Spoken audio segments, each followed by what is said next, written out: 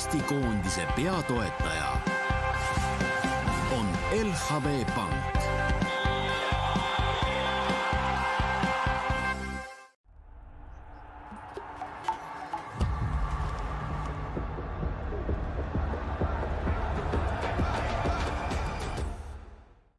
suured asjad ei juhtu ühe päevaga. keegi ei ole muutunud üleöö tervislikuks või bännerile klikkides alandanud kaalu. suured asjad juhtuvad hoopis tasapisi. sul on võimalik teha värskemaid ning tervislikumaid valikuid ja seda mõistliku hinnaga. sa ei pea tegema suuri kangelastegusid, tee hoopis väikeseid, aga tee neid pidevalt. Rimi, parem iga päevaga.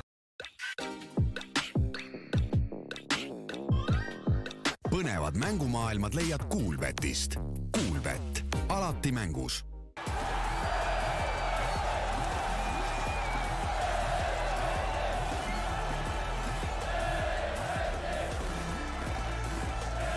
Eesti jalgpall saab toetuda meie õlule. A Le Coq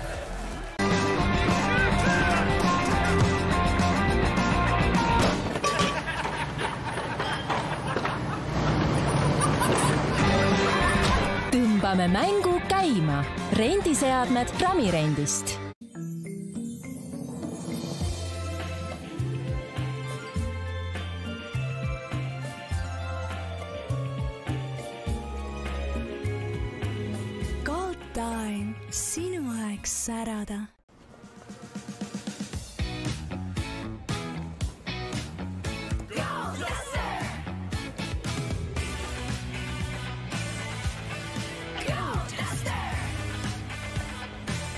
Dacia Duster alates kümne tuhande kolmesaja üheksakümnest eurost.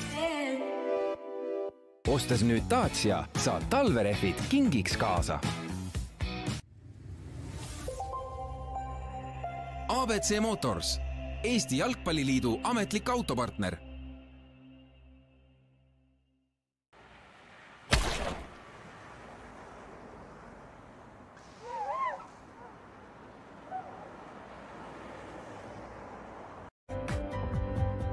koos alati nähtav. vaata lisaks linnaekraanid.ee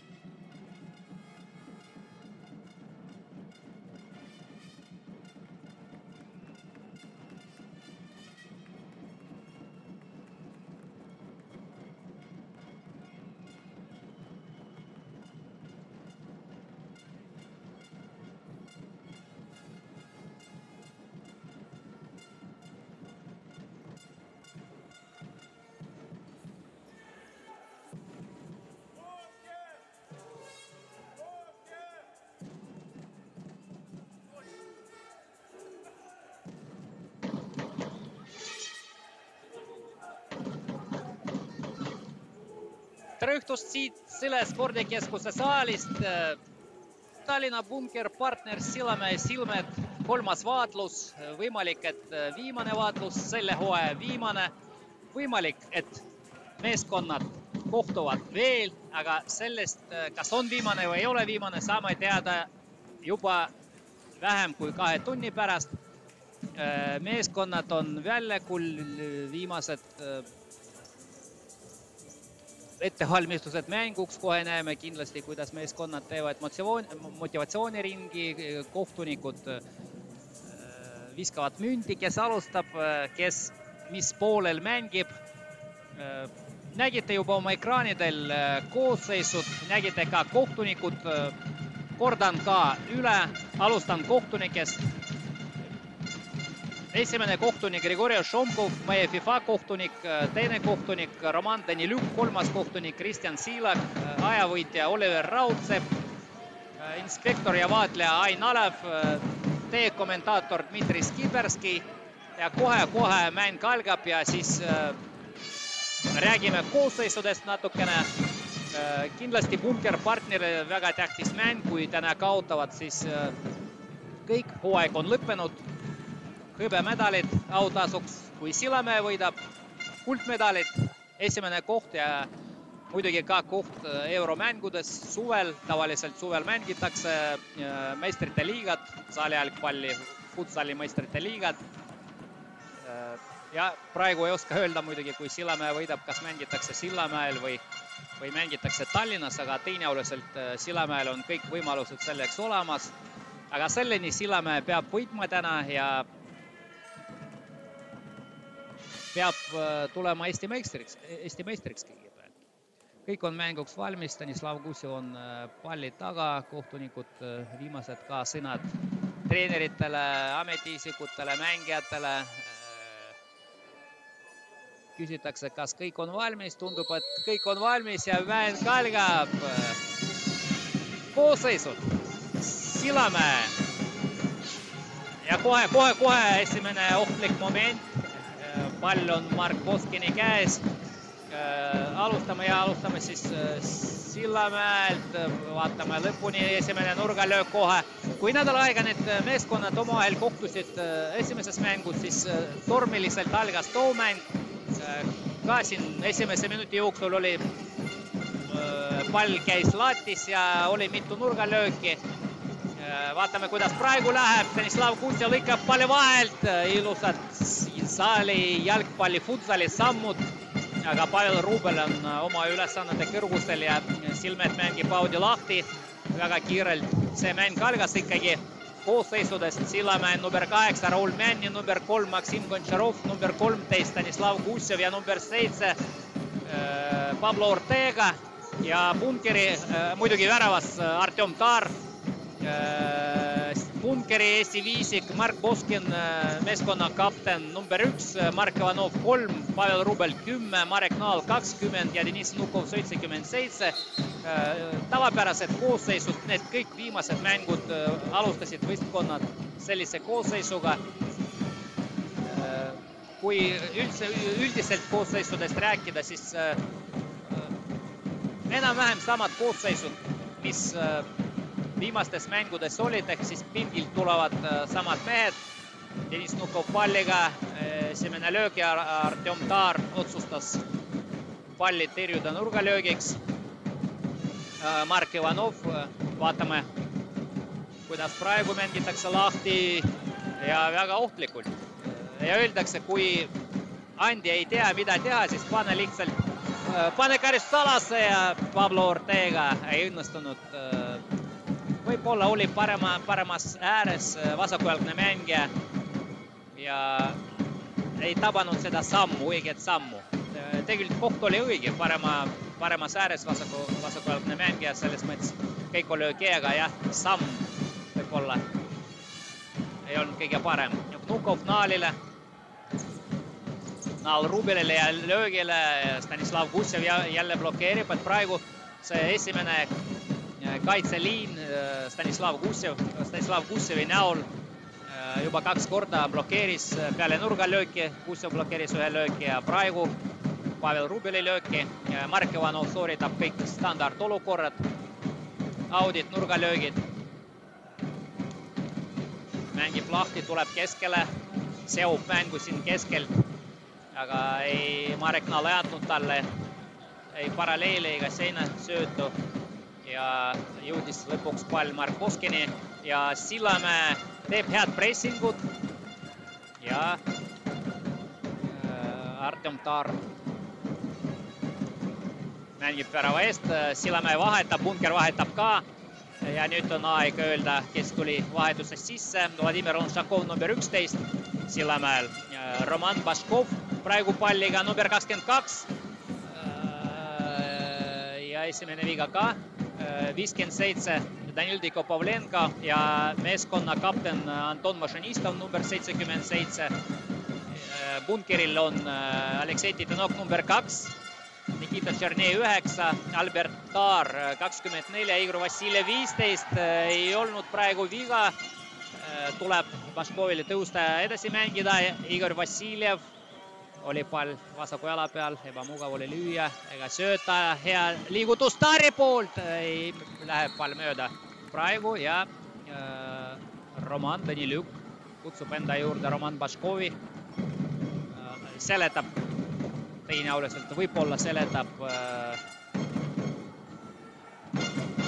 eelmist olukorda, mitte võib-olla, aga kindlasti eelmist olukorda ja hea mäng, praegu hea mäng äh, jällegi Sillamäe poolt ja seda kombinatsiooni tegelikult nägime päris palju hooaja jooksul. et äh, üritatakse seinasööduga läbi mängida. Anton Mašinistov palliga ei jõudnud pall Roman Baškovini ja praegu rahustab mängu Nikita Tšernei. aga Aleksei Denok ebatäpne sööt Roman Baškov mängib lahti. väga meeldiv jälle näha täistribüün, Sillamäe, Sillamäelt tulid ka fännid ja no praegu juba huumoriga võtab seda olukorda Roman Baškov.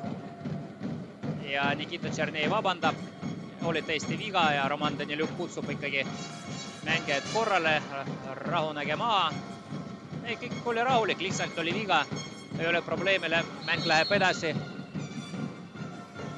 Lotsakov palliga läheb keskele.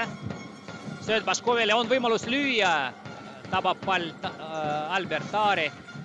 jällegi tuletan meelde, et kaks venda praegu üksteise vastu mängivad. Albert Bunkeri ridades, Artjom väravas Silmeti ridades. ja Roman Baškovil on Sakov, Lonsakov, Baškov mängib lahti. ja pall Lonsakovile ja Igor Vassiljev blokeeris Lonshakovi löögi.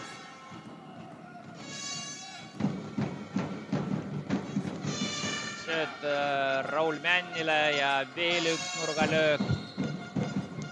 eks siin jah, tuleb päris palju ja vahetab, vahetab silmed. mängitud kolm, kaks, kolm üheksateist ja juba kaks vahetust oli tehtud, eks kuni Igor Vassiljev valmistub auti lahti mängima. no lihtne lahtimäng, sööd oma partnerile ja löök. nii, aga keskmine vanus on Bunker kolmkümmend kaks aastat, kuus kuud ja Silmetil kakskümmend kaks ja üksteist. ehk põhimõtteliselt keskmine vanus ei ole muutunud eelmisest mängust endiselt.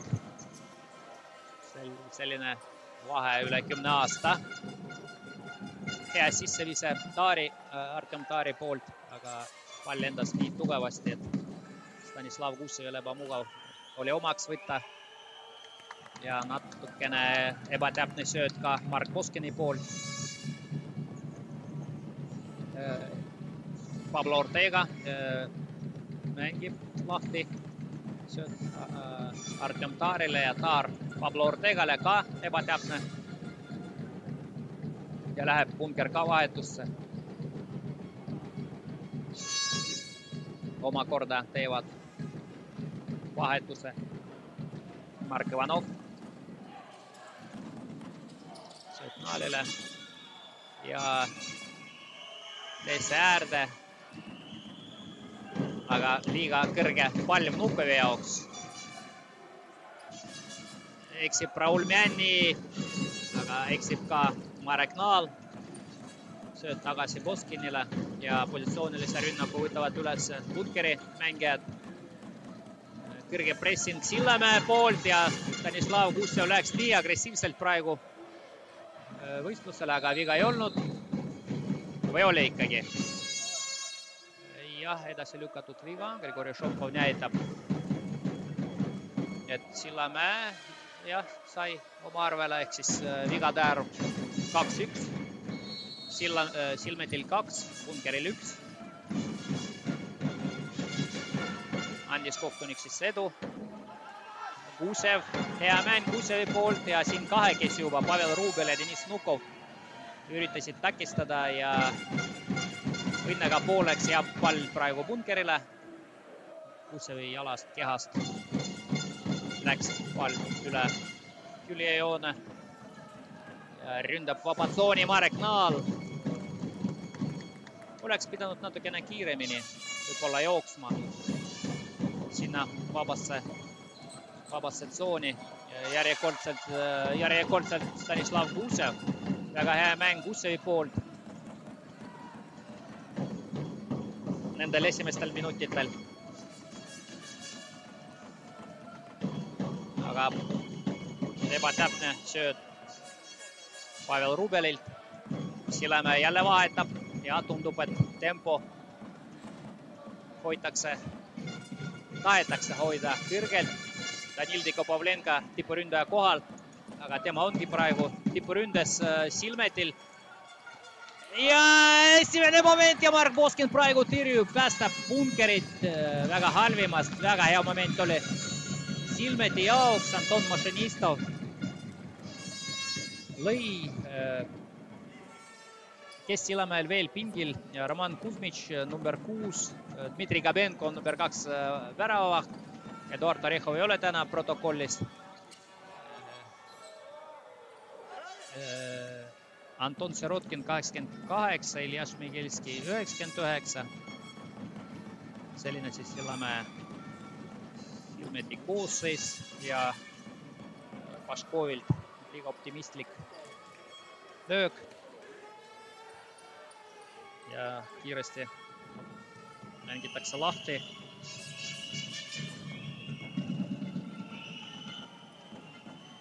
Mark Ivadov Marek Naal.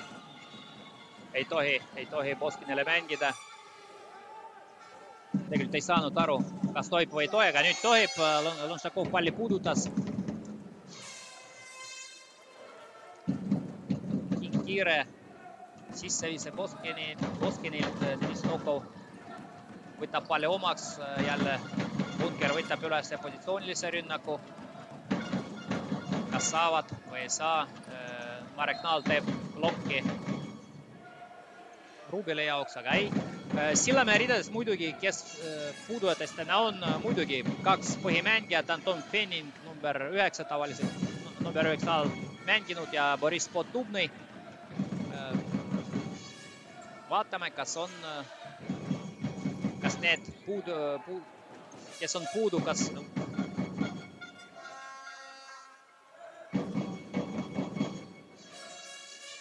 mõjub kuidagi või ei mõju nende puudumine Sillamäe mängu. Vassiljev. ehk nende kohad võtavadki Ildiko Pavlenka ja Anton Mašinistov.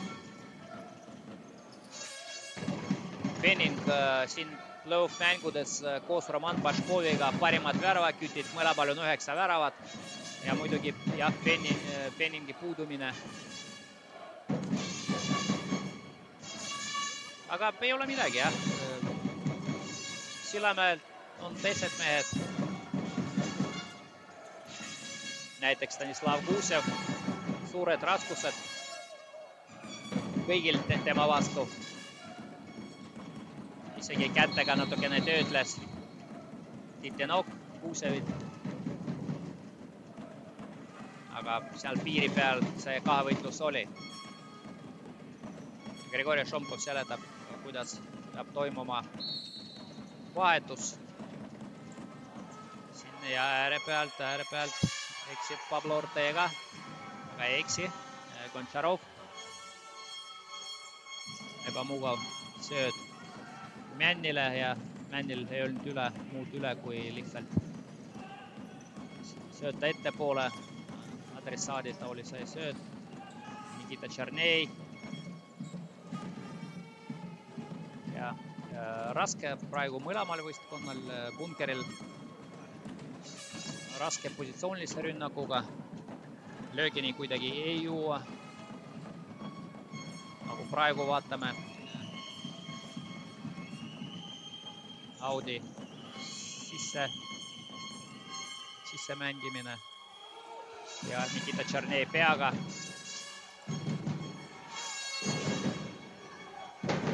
Taar Männi vastu ei olnud viga, aga pall jääb Sillamäele. Pablo Ortega äh,, Raul, ei Pablo Ortega ikkagi mängib lahti. Raul Männi ka tavaliselt on mänginud neid olukordi. Gontšarovile parema jalaga. out teiselt poolelt ja nüüd Raul Männi läheb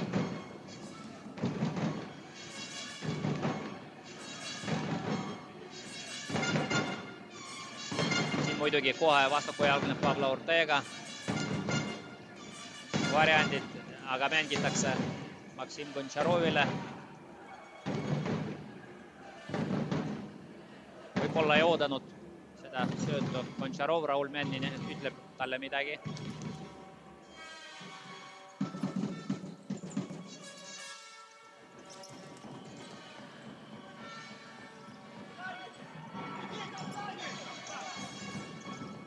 kaotati praegu hetkeks Pablo Ortegat, selja taga avanes Costa Rica mängija.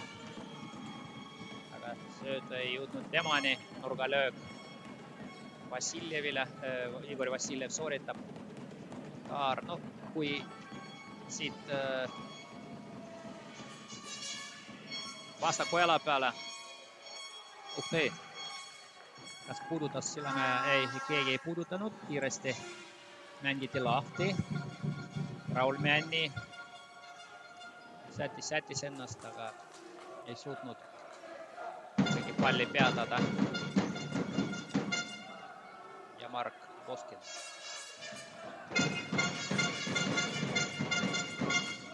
ei olnud äh, praegu ohtlik, ütleme, oli ikkagi löögisega lahti mängida, otsustas äh, pikaga alustada.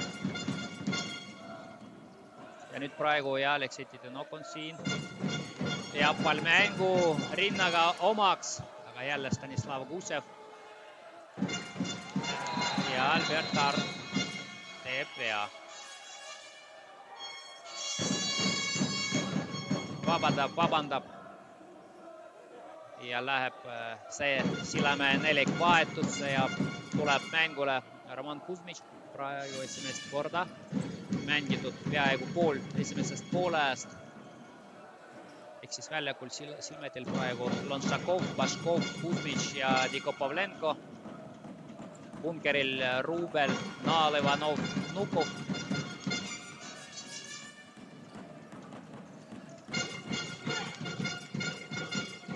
ehk siis Bunkeril tegelikult koondise nelik, nelik väljakul Niko Pavlenkolt ei tulnud läbi jalgade vahelt see sööd, Roman Baškov oli valmis löögiga lõpetama. Stepan Tšernusov ka ütleb sinna sekka, ei olnud rahul ja oli viga ka ja siit oli hästi näha kommentaatori positsioonilt, et oli järjekordne viga, vigade seis kolm-kaks, nüüd juba Bunkeril kolm, Sillamäel kaks. karistuslöök. näitab Grigori Šomkov, et vilega mängime, näitab koha, kus tuleb mängida, viis meetrit.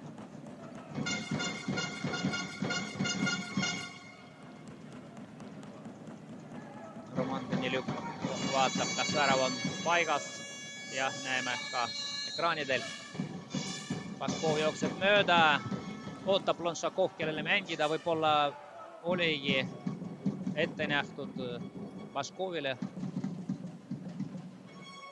aga Baskov jooksis sinna, kust vasaku jalaga oleks mugav mängida, võib-olla ei olnud siis Baskovile ette nähtud. no muidugi Kuzmitš mängija elab Tallinnas, väiksed arusaamatused tulevad võib-olla mängu jooksul.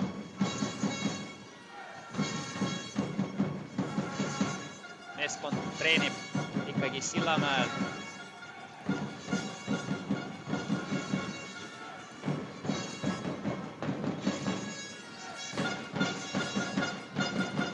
järjekordne positsiooniline rünnak bunkeri poolt ja nüüd Kuzmitš töödeldas natukene Marek Naali, vabandab ka, kolm-kolm vigade seis. pool ei ole veel mängitud. kümme viiskümmend kolm mängida. Naal hästi üks-ühele teeb ära Niko Pavlenkole, aga Kuzmitš julgestas meeskonnakaaslast ja lõi palli auti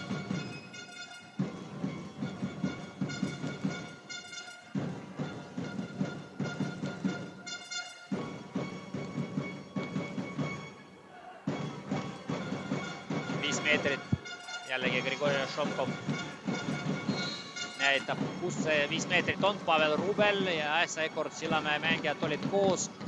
pall ei läinud mängijate vahel. Kuzmitš, Lonšakov. Roman Baskov palliga ja sööd teise äärde ja läheb. Läheb katma tagumist posti. ja nurgalöök Silmetile või out. nurgalöök. Mängitakse, Onšakov ootab, vaatab ja Paškovi peale. Läks sööd. Paškovi suunas.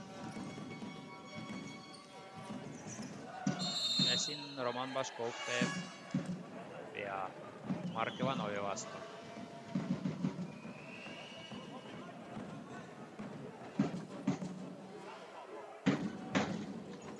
lepivad kokku omavahel Rubel ja Ivanov, mida teevad.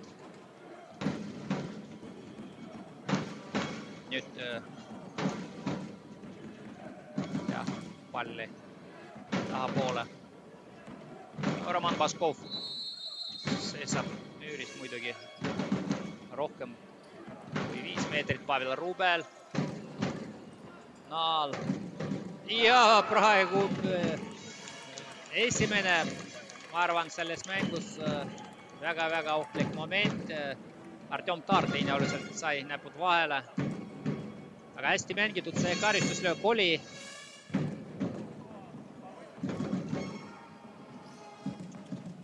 veel üks löök ja Stanislav Kussev järjekordselt aitab kaitses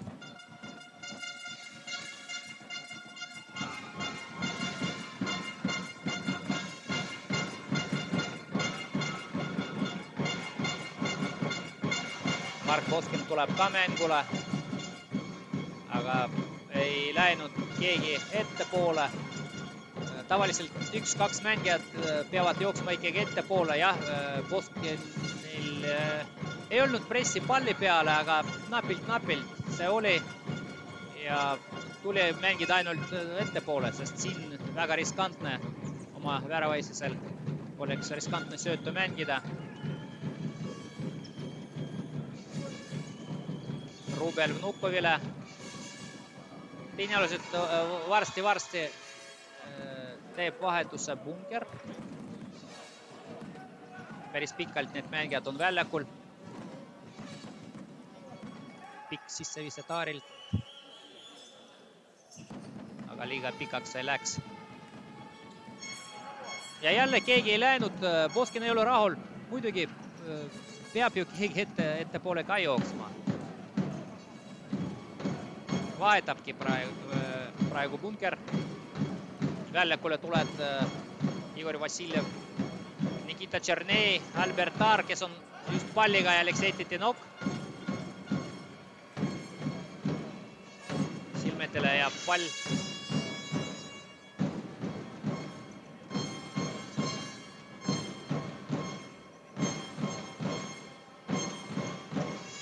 Pablo Ortega mängib hästi. Võib väravak mängida ja Artem Taar mängib Kuusevile, aga Lonšakovilt ebatäpne sööt. kiiresti mängib lahti Igor Vassiljev. on olemas jah, sööt Mark Voskinile ja nüüd Nikita Tšernei on ees. tegi väljaku pikaks ja tänu sellele ka tekkisid variandid ikkagi lühike, lühikesega ka mängida Boskinil. Stanislav Kuusev siin kahekesi. Taar ja Titinov kahekesi tulid peale ja ikkagi ei võtnud palli, aga lõid nurgalöögiks. Lonšakov. ja järjekordne nurgalöök.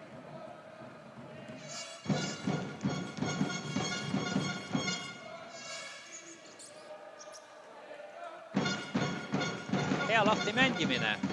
Albert Aar see ülemine mäng ja esimene kaitseliin oli suhteliselt kõrgelt ja te, esimese ja teise liini vahel, esimese ja teise mängija vahel tekkis auk, kuhu avanes Stanislav Ussev ja parema jala peale sööd, igati korralik lahtimäng ja Silmetil keegi ei jookse ette. oli võimalus Stanislav Kussevilt joosta, ei läinud. ja nüüd ees Silmetil ei ole kedagi praegu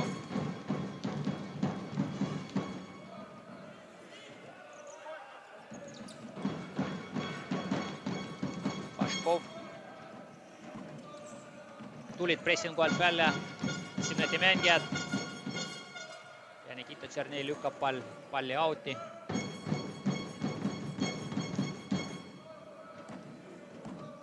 siin juba ükshaaval Silmet vahetab, noh praegu kahekesi korraga läksid puhkama Kuusev ja Pablo Ortega, nende asemele tulid Gontšarov ja Männi, Deniss Nukov oli löögipositsioonil ja Lonšakov blokeeris ja läheb vahetusse ka.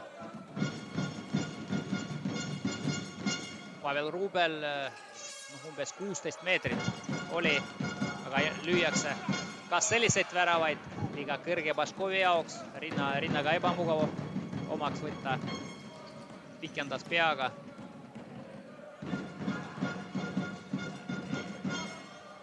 ja kas nurgalöök, ei värava eest.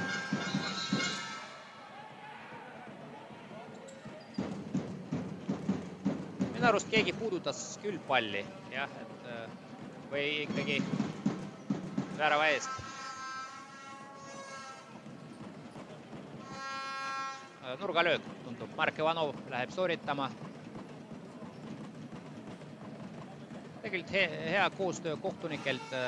minu arust puudutas palli keegi Silmeti mängijatest ja korra arutasid, rääkisid ja võtsid vastu õige otsuse. veel nurgalöök.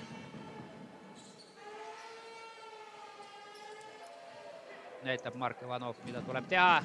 sööt Rubilile, Raul Männi Rubeli vastu oligi ja läheb kontrrünnakusse ja Roman Baškov Roman Baškov lööb esimese mängu esimese värava. kolmteist, null kuus mängitud. ja Silmet läheb ette üks-null. vaatame olukorra kordusest. siin Punker kaotas palli Silmeti värava eest ja kiir kontrrünnak.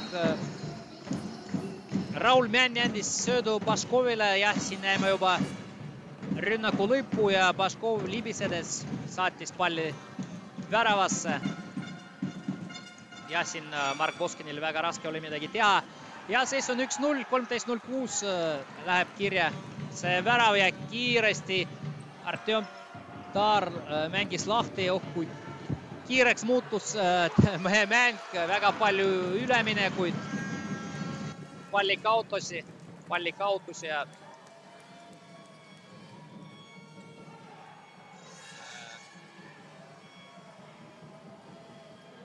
ja rahustab Marek Naal natukene mängu.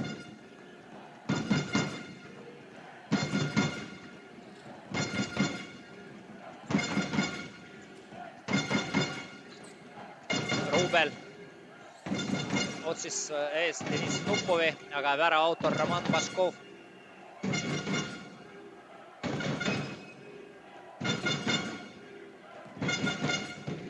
peaga lõi palli eemale ja Deniss Nukov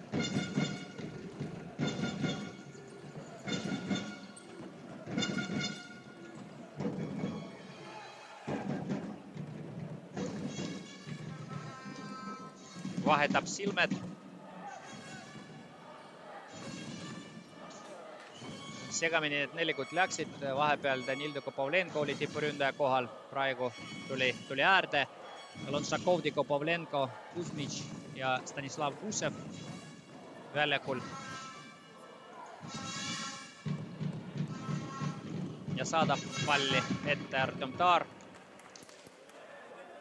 Kusev ei suutnud palli omaks võtta, muidugi ka oli ebamugav ründaja jaoks see pall. ja lihtne palli kaotus Sil-, bunkeri poolt, aga Silmeti poolt ka ebatäpne sööt.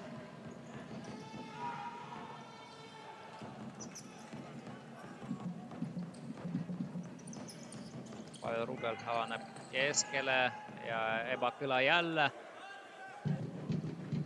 ei suju see kokkumäng bunkeril praegu. sellel mängu hetkel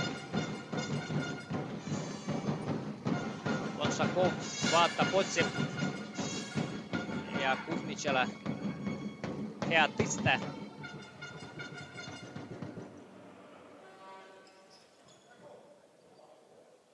Kuzmitšil on erineva värvi saapad, ma vaatan, üks on Nike, teine ei näe võib-olla ka Nike. selline mänguväline natukene märkus. aga Vassiljev mängib Mark Boskiniga. kehaasend Boskinil oli, oli selline, et oli suunatud ainult sinna ühele poole aga bunkeri õnneks läks pall Niko Pavlenkole vastu kätt ja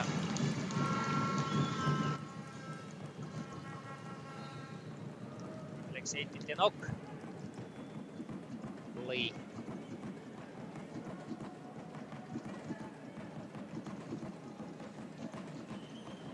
näitab time out'i, ei time out, vaid viis viga jätsin vahepeal. mäng läks nii kiireks, et kuidagi kahe silma vahel, vahele jäi see asjaolu, et viis viga on Silmetil ja tasub nüüd ettevaatlik olla. Vassiljev ja Stanislav Kussev jalast üle otsajoone, pall läheb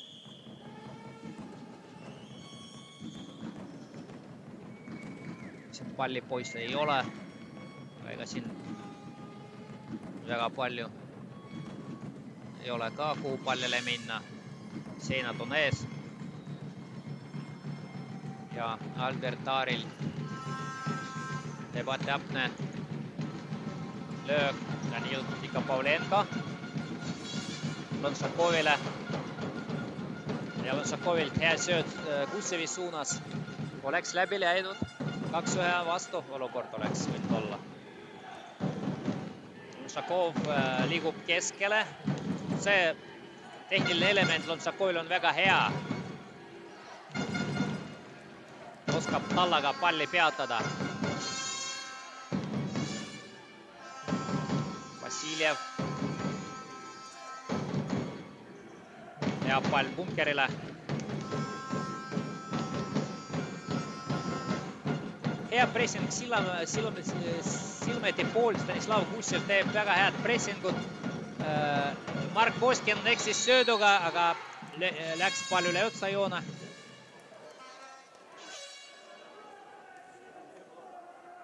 võib-olla ongi vaja Bunkeril natukene lendava väravahiga mängida, äh, positsioonilisest äh, rünnakust ei tule kuidagi välja. See ja Igor Vassiljev eksib sööduga. Ja Pablo Ortega saadab teise palli bunkeri väravasse, Silmet läheb ette kaks-null, viisteist, nelikümmend viis mängitud. Pablo Ortega teise värava autor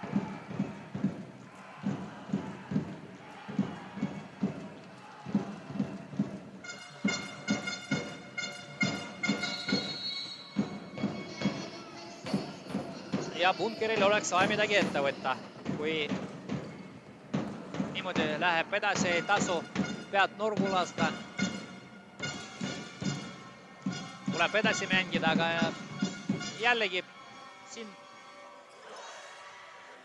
futsalis äh, kaks-null, see on normaalne seis, ei ole midagi hullu.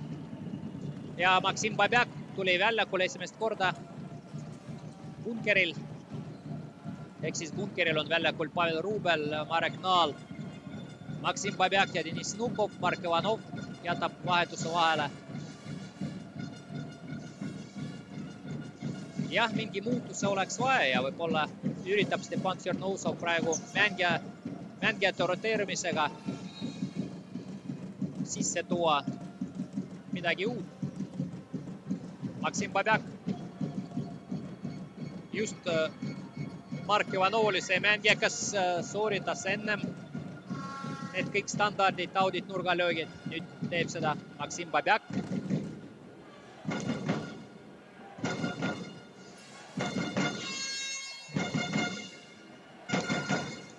Deniss Nukov. hästi liikusid äh, bunkeri mängijad praegu ja hakkas liikuma vaatame, kas me näeme veel midagi ohtlikku. ei läinud üle otsajoone pall ja Maksim Babjak. mängivad hea koostöö kahe mängija vahel. Babjak ja Rubel jõudsid löögini, aga Artem Taart hooaja lõpus äh, väga hea vormi kogus Sillamäe Äh, väravaht ja mitu korda juba päästis poolfinaalides äh, ja, ja finaalis. kui ennem äh, Dmitri Kabenko näiteks, kui ta oli mängul, siis tema mängis, siis viimastes mängudes ikkagi Artem Taar on see mängija, see väravaht kes mängib Silmeti väravas. Lonšakov, nüüd Lonšakov eksis üks-ühele, Deniss Nukov otsustas driblamisega, driblamisega mängida ja ikkagi üks-kaks, Marek Naal lööb kaks, nelikümmend seitse enne esimese poolaja lõppu. ühe vastuvärava. oo, näen Daniel Lullu, tunneme teda Phoenixi, Hikvi Phoenixi poolehoidjana, aga tema toetab ka, ta on, ta on siin ja toetab Sillamäed praegu ka tribüünil ja ongi üks-kaks, kaks nelikümmend üks esimese poolaja lõpuni.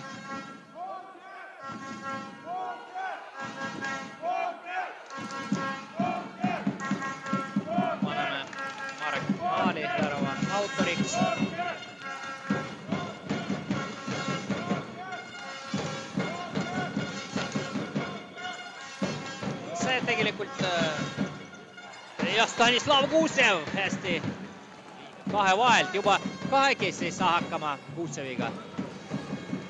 veel üks võimalus. Marek Naal, löök väravale, aga Artem Taar lööb äh, päris keskele läks. see löök, Kuusevil on ka hea löök. Rubel blokeerib. äh, pall jah, see äh, bunkeri värav tegelikult tuli Vladimir Olšakovi eksimusest, kui teine Silmeti värav äh, tuli peale Igor Vassiljevi eksimust, siis äh, bunkeril ka sama. et praegu lüüakse väravaid peale individuaalseid eksimusi. Taar julgestab, hästi julgestab praegu ja läheb tagasi väravasse. Vassiljev, Anton Penin kõnnib mööda siin tribüüni ees, tervitab kõike. aga täna ei mängi.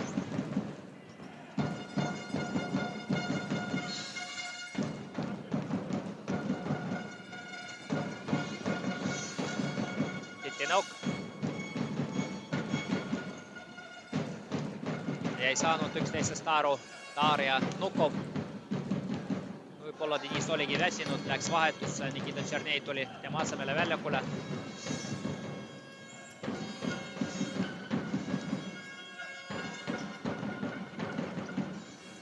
Lonsakovilt hea liikumine, pete liigutus ja tuli pallile vastu.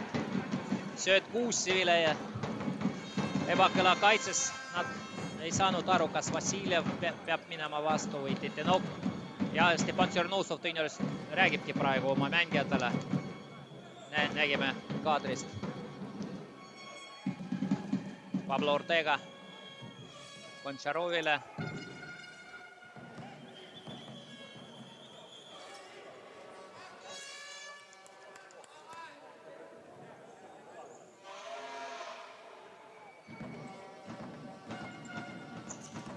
Munker võtab ka kõrgelt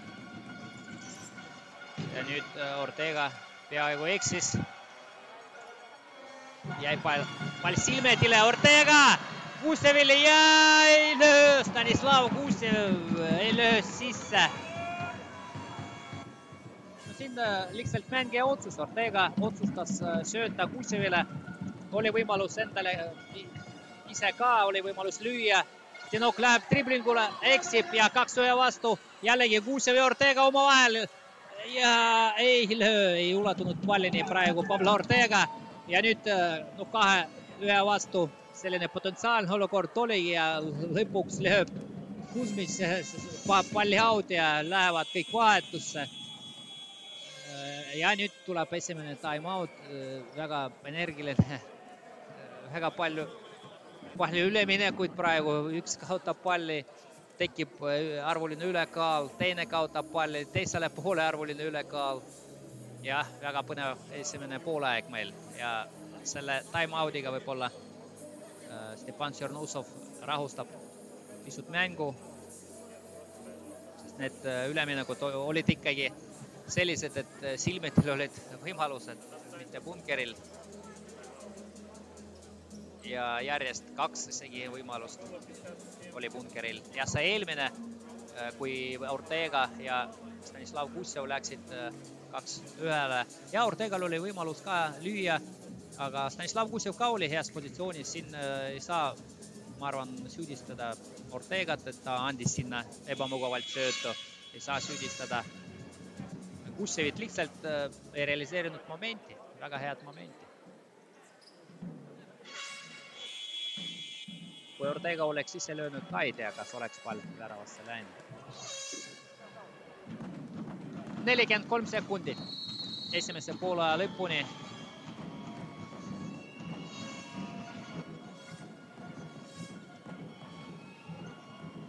Punkeril väljakul Babjak Rubel, Naal ja Vnukov ja Mark Ivanov jätab vahele praegu oma vahetuse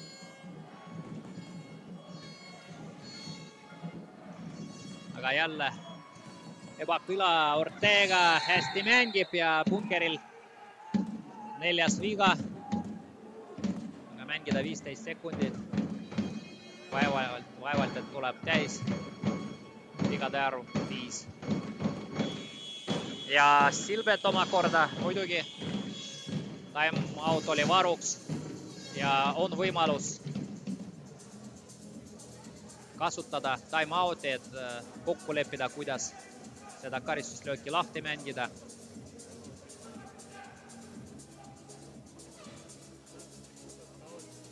Vladimir Lonšakov, mängiv treener, näitab,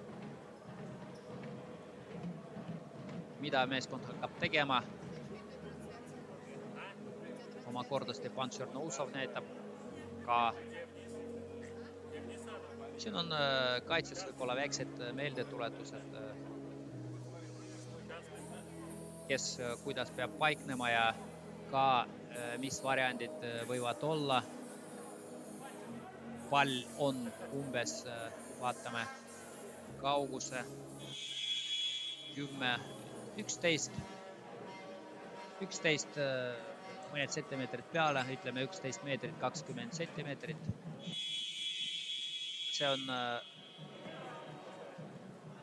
väga-väga selline hea löögipositsioon. vaatame, mis Silmet teeb, vasakujalgsed mängijad väljakul ei ole praegu. teine aluselt lööb, mängitakse kuidagi niimoodi, et lööki sooritab parema jalaga. no muidugi Kussevil on ka võimalus otse lüüa äh,. vabandust, siin on ju vasakujalgne mängija Bob Ortega. Tahtsid teinealuselt mängida Lonsakovile ja siis Lonsakov tagasi Ortegale vasaku, vasakule jalale. ikkagi penalti, ikkagi penalti null koma neli null koma neli sekundit enne esimese poole lõppu määravad kohtunikud penalti Silmeti väravasse. väga tahaks kordust näha. Näidatakse meile Grigori Šomkovile, oli väike viivitus jällegi teinealusel kohtunikud omavahel rääkisid läbi, kas oli viga või ei olnud viga. aga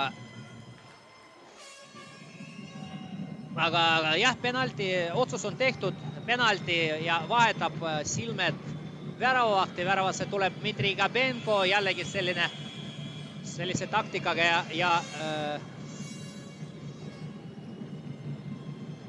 oli Sereen ja mis näidati, viis viga, viis viga oli Silmetil juba enne.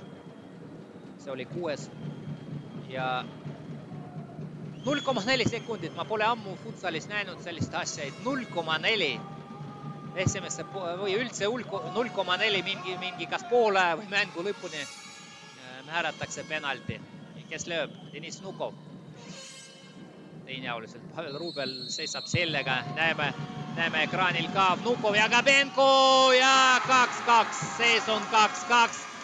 null koma neli sekundit poole lõpuni Deniss Nukov lööb tabloole viigi ja teine poolaeg meil algab sisuliselt nullist ehk siis mõlemad võistkonnad see kaheväravaline edu, mis Silmet saavutas esimese poolaja jooksul, nüüd on nullitud. ja ongi esimene, esimene poolaeg on lõppenud. ootame, ootame teist poolaega ja umbes viisteist minutit on treeneritel parandada mingeid väikseid asju ja tulla teisele poolele puhanuna, värskena. Aga me siit puhkame ka natukene ja kuulame vähem kui viieteistkümne minuti pärast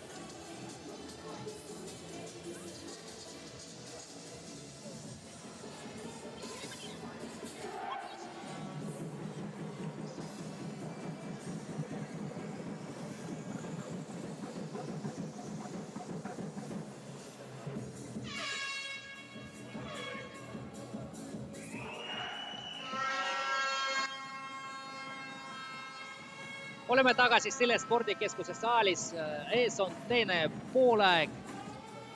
kindlasti tuleb väga huvitav, kakskümmend minutit on jäänud.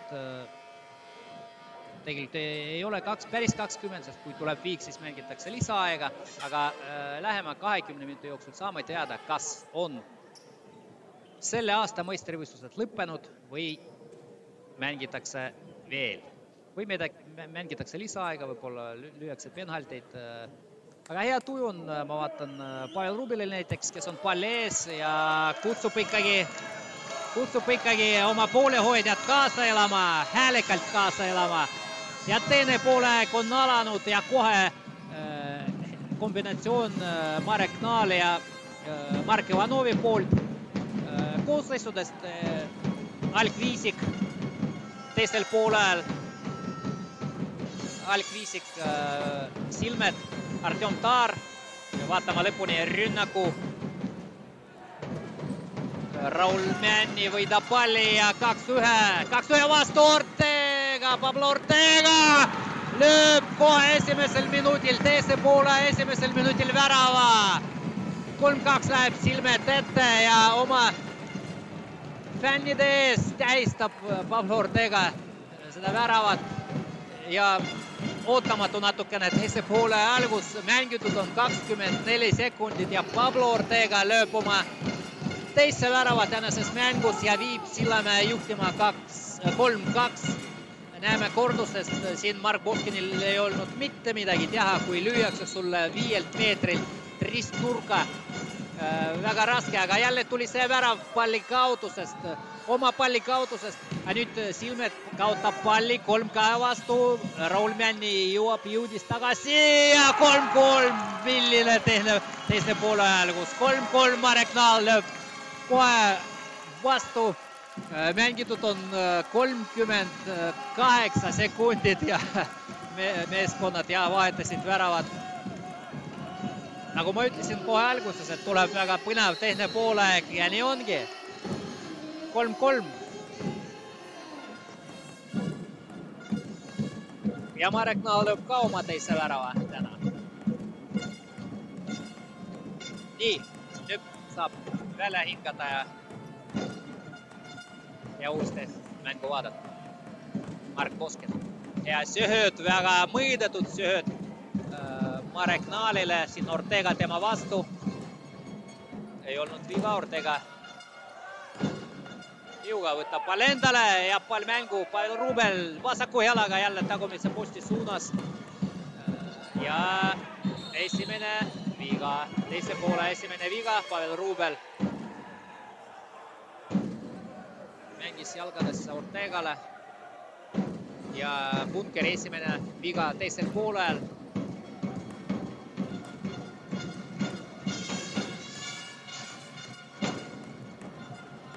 Deniss Nukov ja ei olnud rahul selle kohtuniku otsus, otsusega ja äh, praegu Ramon Daniljuk rääkis temaga natukene, kui ma rääkisin juba kohtunikest, siis tuletame meelde ka kohtunike brigaadi. Pavel Rubel eksib. ja punkerile jääb pall, kohtunike brigaad, Grigorjev Šomkov esimene kohtunik, Roman Daniljuk teine, Kristjan Siilak kolmas. Ja äh, ajavõitja Oliver äh, Raudsepp mänguinspektor ja vaatleja Ain Alev. siin näeme korduses, kuidas Bunker lööb oma värava.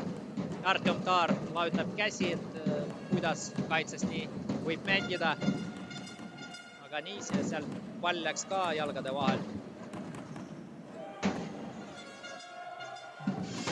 valmistavad ette Bunkeri mängijad oma kombinatsiooni. ei tulnud välja ja Silmet vahetab, poolteist minutit mängitud Silmet vahetab jällegi võib-olla nagu esimesel poolajal tahab Silmet hoida tempot kõrget.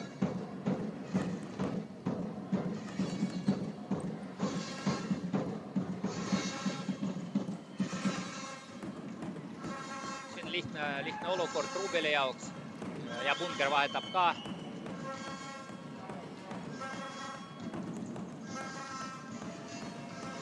minu arust, kui selline olukord, kui palju on väravahekäi, siis äh, tuleb teha väljaku nii pikaks kui võimalik, siis sul on äh, ruumi. näiteks kui pall läheb pea peale, sa saad äh, kahevõitluses teenida endale standardi, kas nurgalööki või, või auti või siis selja taga. tavaliselt kaitse on ees, kui selline olukord on ja selle kaitse selja tagant tulla ettepoole ja võtta palli omaks. ma arvan nii oleks äh, võib-olla parem mängida, aga millegipärast mängijad ei tee väljaku pikaks,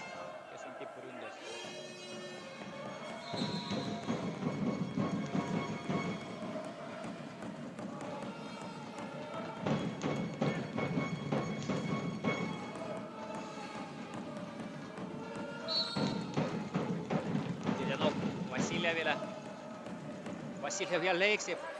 esimesel poolel oligi üks värav, Silmet lõi tema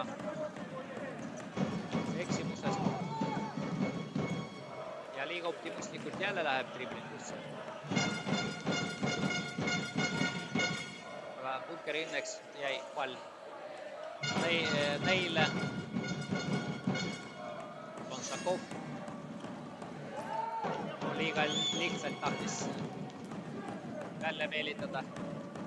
seal väike kehakontakt oli, aga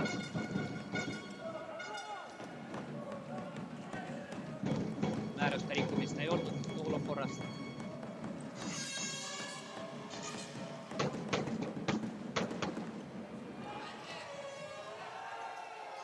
ka ei olnud ja Kuzmits tuli võitjana Lotsakovilt head sööt Kuzmitšile ja Diko Pavlenkole ja praegu alles Boskini meisterlikkus päästab, päästab bunkerit.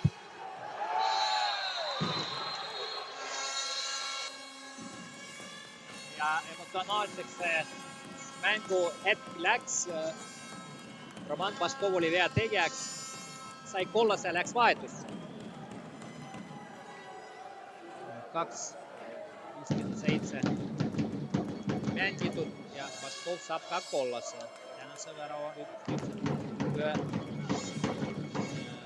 värava autor sai kollase.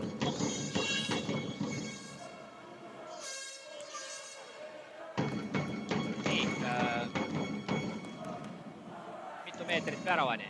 väravani umbes seitseteist meetrit saali jalgpallist palju, aga sisse lüüa ei ole võimatu. Aleksei Titinov, Lotsakovoli. palli tee peal ja tema jalgadesse jäi pall ja ma vaatan, nii Ortega, Tšernei peaga söödab tagasi Voskinile. Vassiljev mängib nüüd ka Pavlenkast mööda, aga Kuzmitš oli julgestamas ja Vassiljev teeb vea. kaks viga punkeril, üks Silmetil, mängitud kolm kakskümmend üks. ja ma vaatan, Karikas on saabunud ka saali. ja juhul, kui Silmet täna võidab, siis autastustsemoonia on ka ette nähtud aga siin väga siin Silmeti karistusalas.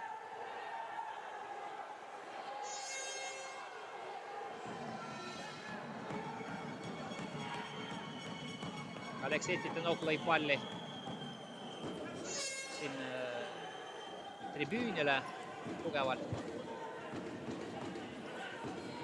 lähedal jah, tabas, tabas huvitav olukord, Pavel Rubel tahtis vabandada, aga keegi Sillamäe poole hoidjatest ma ei näe jah, ei andnud kätt. ei ole hullu, juhtub.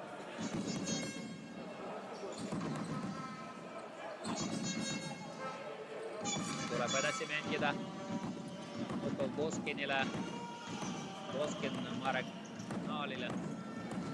pikaks läheb see sööt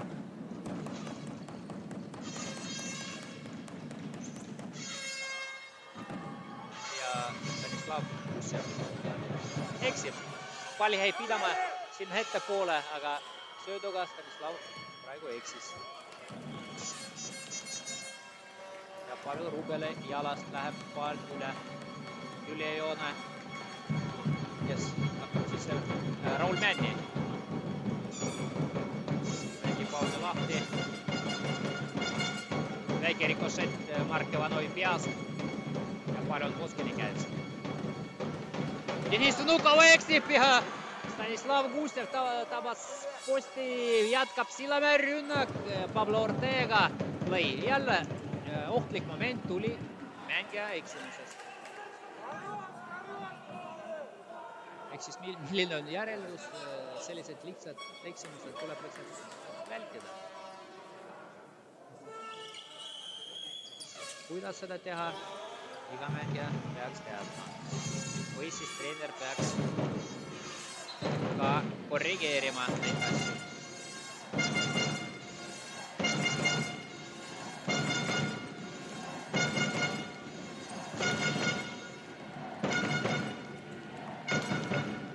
jällegi hea pressing Kussevi poolt. nii et Junkeri mängijad on sunnitud mängima läbi Koskeni ja juba Puskinil tuleb pikk sööt ette. ja kui väravahil tuleb pikk sööt ette, siis tavaliselt ei olnud see kõige mugavam omaks võtta.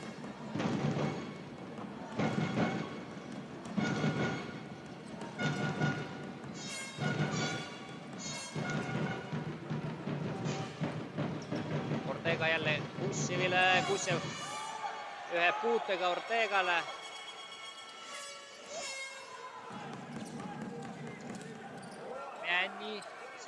hästi Marek Naal. kõige leviga. vaatame, vaatame, vaatame kordusest saab kollase kes.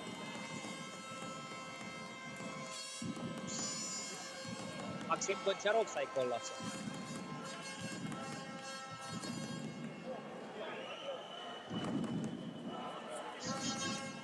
viis, null viis mängitud.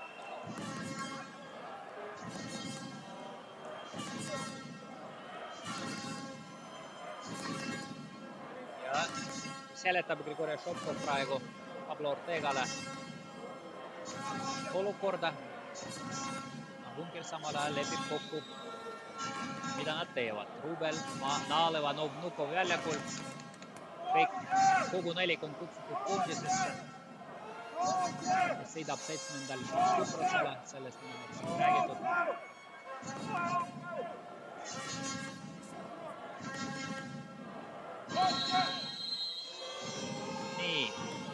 Naal jookseb mööda. Ivanov tahtis Nukovile mängida, aga Raul Männi hästi luges mängu. peaaegu üks, üks-ühele oli olukord, aga Mark, Mark Boskin ei olnud praegu viga. Ortega, Pablo Ortega lööb neljanda värava ja värav loeb. Grigorjev Šompov kindlalt näitas keskele ja neli-kolm läheb silmed ette, viis kakskümmend on mängitud Pablo Ortega.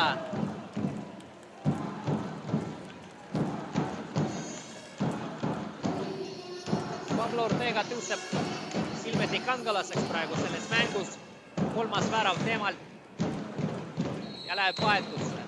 Silmedil tulevad väljakule Niko Pavlenko, Baskov, Kudmich, Lotsakov.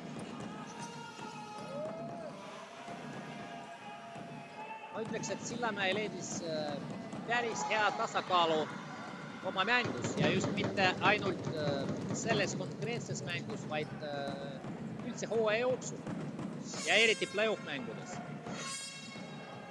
Äh, nagu ma ütlesin, täna ei mängi Benin, täna ei mängi Podumni, aga äh, meeskond on ikkagi tasakaalus. Ja vaatamata, et Roman Kuzmitš ei mänginud nii palju sellel hooajal ja Danil Pavlenko pigem äh, mängis juba äh, mängude lõpus rohkem. täna ikkagi põhimängija mängib tervet mängu, aga kvaliteedi langust ei olegi silmedel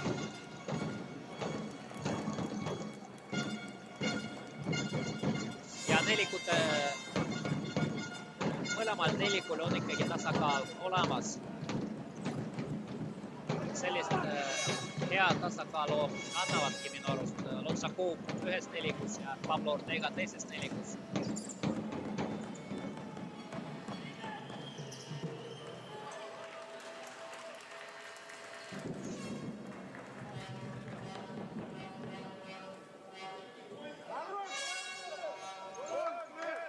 aga jälle neljas värav. eksimus.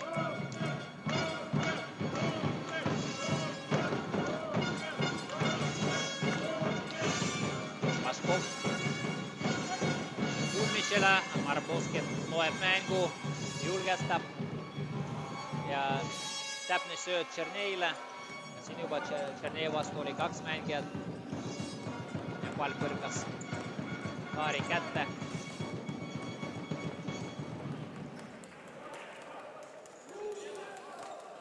hästi elavad kaasa mõlema võistkonna poolehoidjad, siin on isegi väikeste koertega tribüünil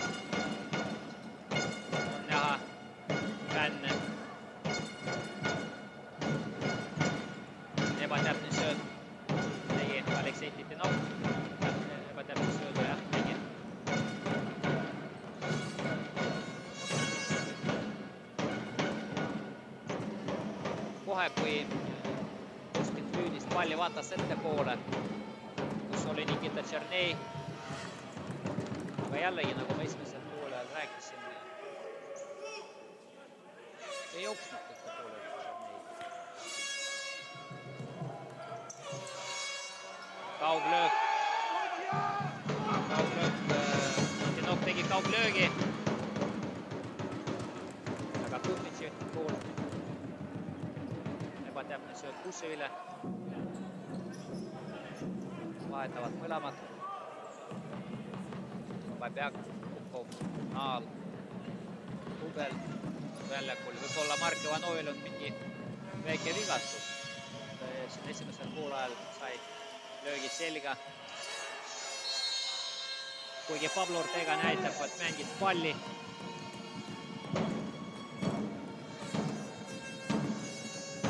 natukene mängis jalga ka. vabandab.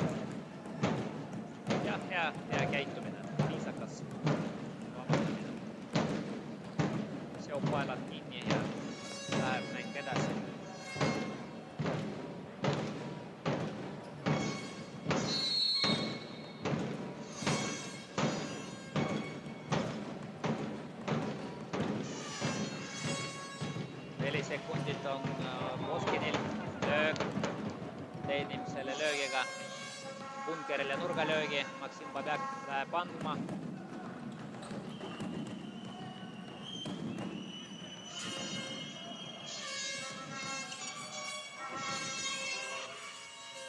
Babjak ootas, kui keegi tuleb vastu, tuli Deniss Lukov vastu, Pavel Rubin oli ka valmis löögiks uuesti Babjak lõi Taari kätte. Ortega tuleb tagasi, aga väravahele ei tohi sööta. hästi leiab sööduga Stanislav Kussevi, Mjänni omakorda hea sööduga leiab Kontšarovi. out. Raul Männi läheb sooritama. Bunkeril ei ole veel väljakul käinud Mark Kolosov, Andrei Sidorenkov, Aleksei Žukov, kolm mängijat. Silmetil Anton Sirotkin, Iljas Migelski, siin Maksim Kontšarov lõi. ebamugav oli lüüa. aga tuli selle rünnaku löögiga lõpetada. Nukov Maksim Babjak, ebatäpne sööt. kui niimoodi eksida, väga raske loota millegi peale, võidu peale loota. ikkagi liiga palju neid, neid eksimusi.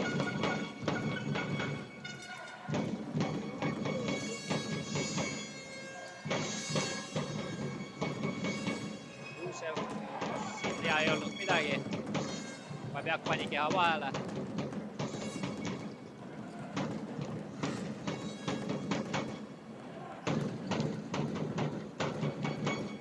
liikumine Pavel Rubili poolt, selja tagant tuleb keskele ja teeb vea, teeb vea. Pablo Ortega sai vastu pead.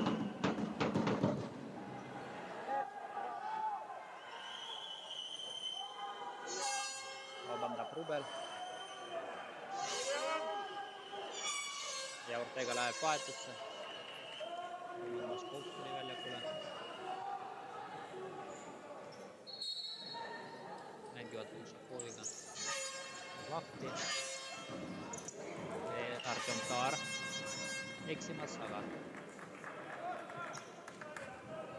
ei olnud hullu. Ušakoviga ja selja taga. Lihtne pall. Babjakile. Kuzmitš ja siin kaks ühe vastu. Kuzmitšil sööt Niko Pavlenka suunas. juba täpne, Babjak Nukovile. Rubel, löök ja Artjom Taar tõrjub. tavaliselt kasutame väljendi lendav värava, kui tuleb viies mängija viis-nelja vastu mängida, aga praegu Artjom Taar oli lendav värava. ilusti lendas ja tõrjus palli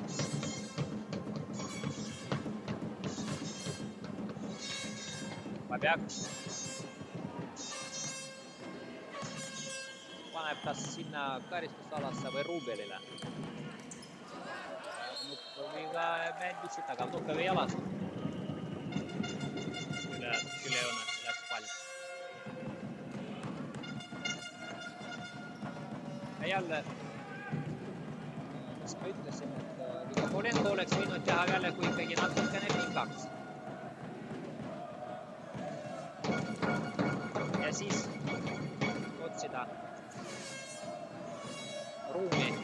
Palli omaks.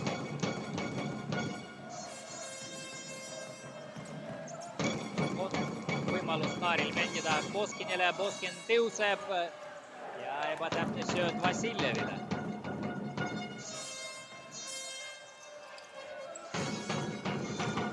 eksimus Lotsakovilt, Titinok tuleb tar vastu talle ja Sirjub õigel ajal tuli vastu. kusagil vaba ruumi lüüa. mõlemad mehed libisesid, tegid põranda märjaks. ja märk põrand futsaalis on ohtlik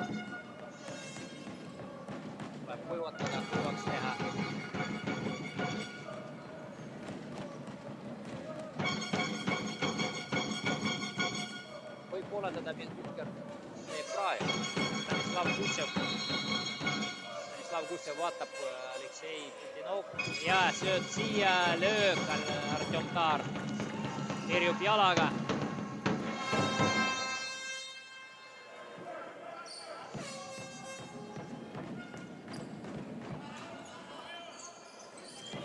See liikumine, kui Titinok liikus Vassiljevi kõrvale, viis selleni, et Stanislav Kussil pidi ka liikuma ja tekkis söödukoridor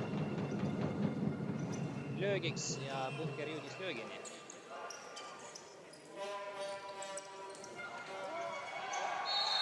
Nikita Tšernehe teeb Lotsakovile vea, see on Punkeri neljas. viga ja mängida veel poolteisest poolest kümme kolmteist mängida.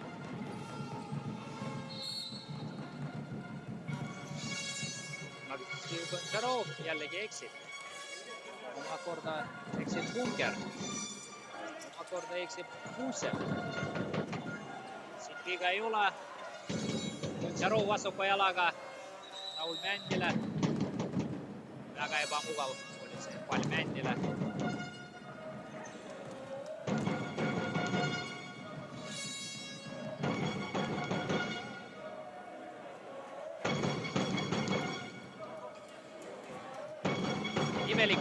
Punkeril oli just sellel hetkel kaks-kaks ja ei teinud väljaku pikaks Raul Männi sööt. Tšernei magas maha, Ortega liikunud seal.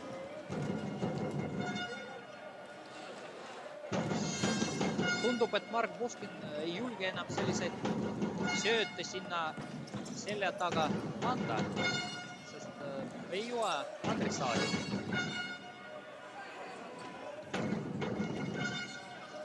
Gussev Vassiljev vastu.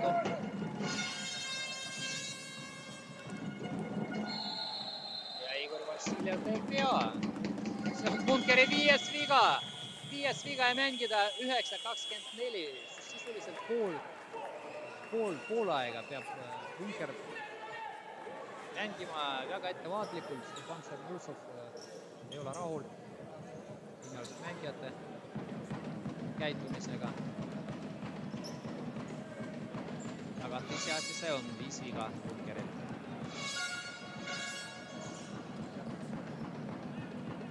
Pablo Ortega palli taga, viis meetrit. loeb Roman Daniljuk, näitab, mida tohib teha, mida ei tohi.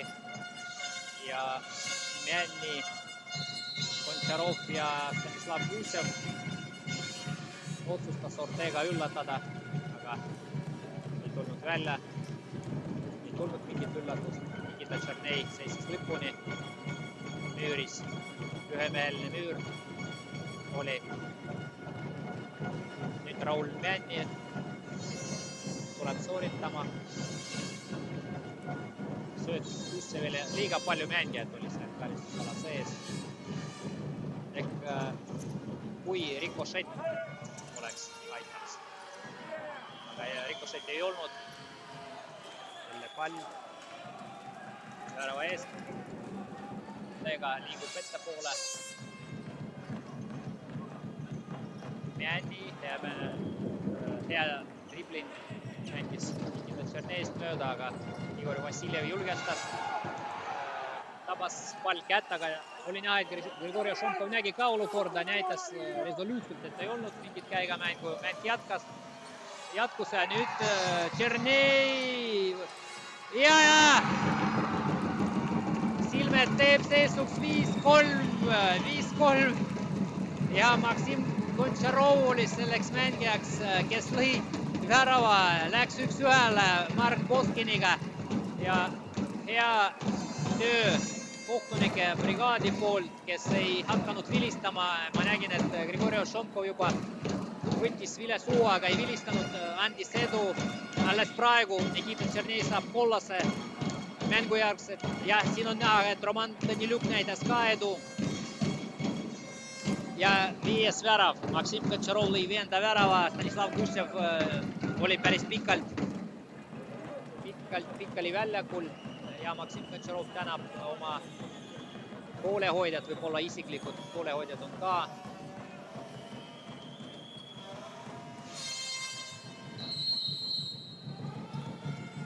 loodetavasti ei ole midagi hullu Stanislav Kusseviga. koondise mänge silmas pidades väga tähtis mees. Roman Baskov.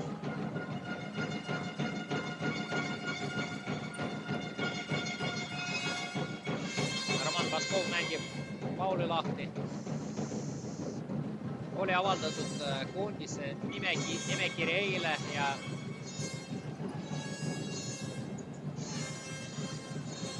palju küsimusi, miks Roman Baskov ei ole koondise nimekirjas, aga noh, ma ütlen, et Roman Baskov on esimene varu nimekirjas, et juhul kui keegi valitud mängijatest ei saa tulla, siis Roman on see kohe esimene mängija, siin viga, aga oli karistusalast väljas. Sillamäe neljas viga, ehk siis Sillamäele ka ei tasu vigu teha, kuna mängida on veel seitse viiskümmend üheksa, kaheksa minutit mängida. ja vaatamata, et kaheväravaline edusseis viis-kolm, ikkagi need kümnemeetrilised võivad ka saatuslikud, kui liiga palju vigu teha. ja lõpetades, lõpetada jah, seda teemat Roman Baškovilt, et jah, treenerite, treenerite staap valis praegu Baskovi esimeseks varumeheks, et ikkagi mängida kolm mängu terve nädal, aga see on väga ohtlik karistuslöök. vaatame lõpuni ja just Romani õlast läks pall üle otsa joone. ehk selline kolmemänguline seeria ja äh, toetub äh, koondise treenerid toetuvad rohkem, rohkem kogunevatele mängijatele. ja nii on. ja praegu jah, Pavel Rubel ja Jan Baskov üksteist üle patsu. ja mäng jätkub Rubel ja Baskov omavahel. Roman Romanil tegelikult väga palju arenenud mängijad sellel hooajal, kui ennem olid võib-olla sellised väiksed lollak, lollakad pead, ma ütleks, mis tulid noorusest. Ja nüüd üks-ühele, Roman läheb Mark Koskiniga üks-ühele, triblamine, aga lööb palli mööda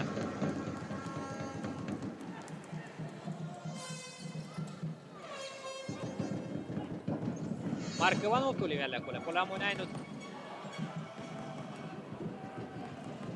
ja Maksim Kobjak mängis siin vahepeal selles nelikus, aga pingil hetkel.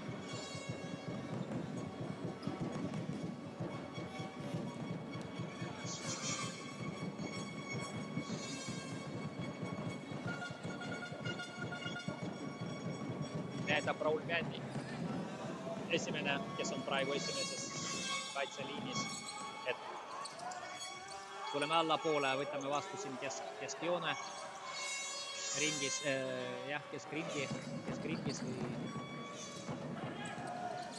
keskjoone kõrgusel. praegu väga lihtne, väga lihtne viga Pablo Ortega poolt ja viies, mis on viies Sillamäele. Nüüd mõlemal on viis viga täis ja mängida kuus nelikümmend kaks. siis iga järgmine viga, vahet ei ole, kes teeb, Punker või Sillamäe, lüüakse kümnemeetrilise penalti. no või siis, kui viga toimub vähem kui kümme meetrit, siis on õigus lüüa ka, kui mängija otsustab muidugi. sellest punktist Nupov ja Stanislav Gusev, Stanislav Gusev praegu ei hakanud viga, viga tegema. Ja Deniss Vnukovile sellest piisas, oli näha, et Gusev ja siin, siin praegu oli näha, et ta ei hakanud viga tegema, Deniss jooksis tema ees palliga, jõudis löögipositsioonile ja lõi seisuks viis-neli. Deniss Nupov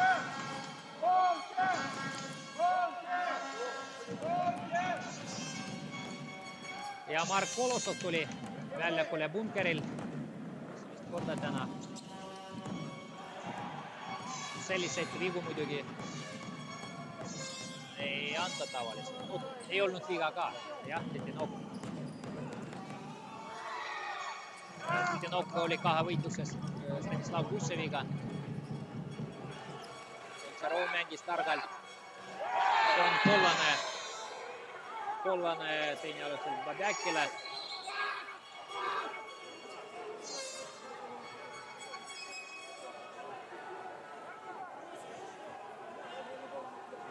ja niikaua, kuni kohtunikud omavahel räägivad, kolmas kohtunik, kolmas kohtunik rahustab ringe ja Saapa peab oma kollase muidugi ebasportlik käitumine. Emotsioonid on natukene vaibunud ja rahulikult Roman Daniljuk rääkis Läkiga.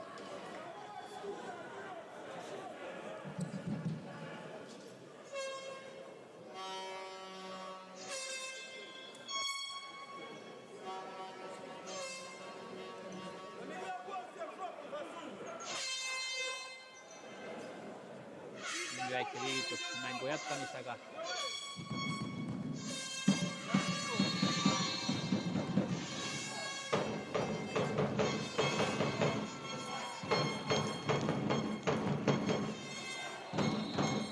viis-neli, kõik on võimalik.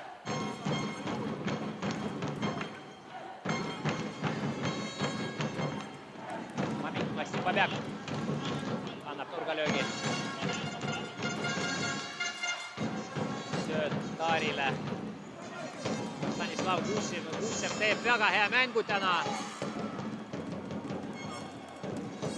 on näha, et Sillamäe mängijad on väga keskendunud, hoiavad fookust, ei kaota seda fookust, neil on siht ees, kui nad täna võidavad, ongi nad meistrid. see häälestatus on väga hea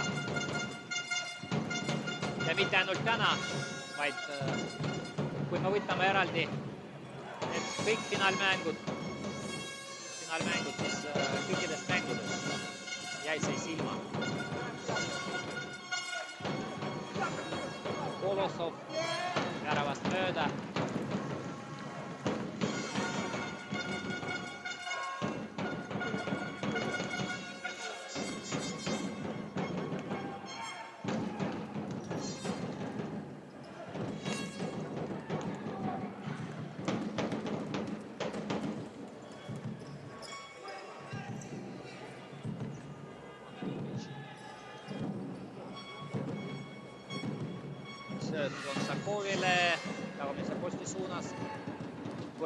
Roman Baškov löögiga lõpetama, juhul kui sööt oleks talle läinud, siin me praegu kaadris ei näe, et Baškov oli ka üksi. otsustas sööta. Šakovile.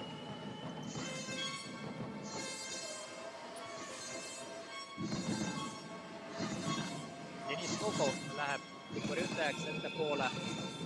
Jällegi, kui mängija teeb väljaku pikaks, mida tegigi praegu Deniss, tekivad võimalused tagant alustada.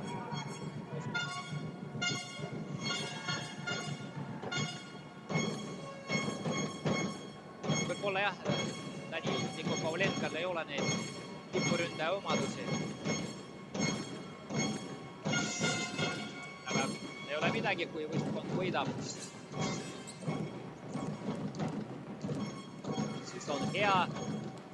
Hea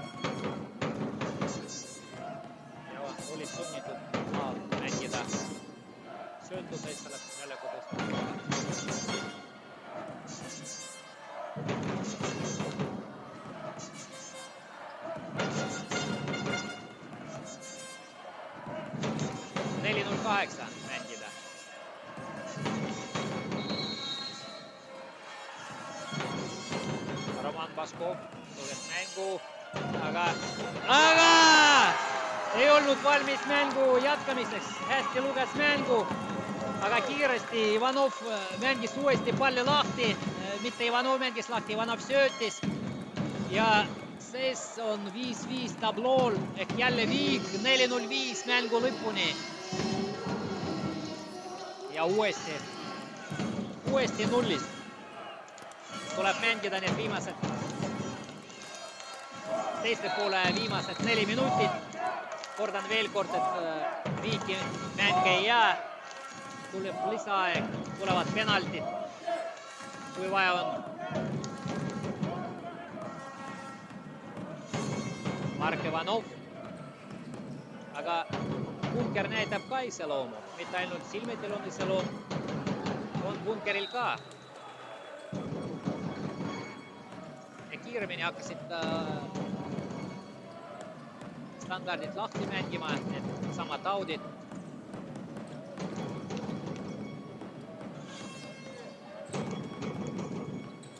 korraks fookuse kaotamine ja Bunker päristas Silmeti. mängu lõpuks ka see fookus kipub, kipub ära minema ja väsimus tuleb peale. Mängu lõpud on rasked ja mängu tempo oli päris hea täna. Raul Mändi ebatäpne sööt, viga ei olnud. Nukovile sööt peaga väravast mööda.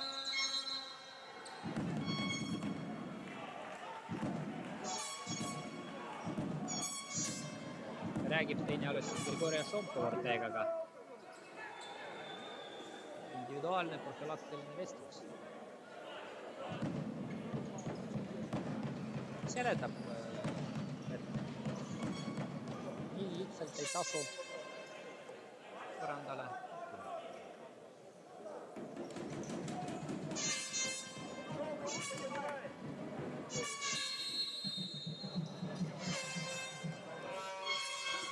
Ortega jättis nokk tema vastu.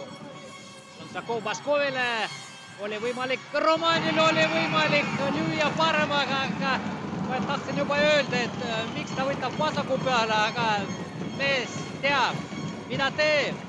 Roman Baskov teeb seisuks kuus-viis, Silmeti kasuks kolm-null kolm mängida ja Bunkeril on mõtteainet. ma näen, et ei, ei pane praegu keegi lendava väravahi särgi, jätkavad neljakesi mängimist. mõlemad time-out'id on olemas mõlemal võistkonnal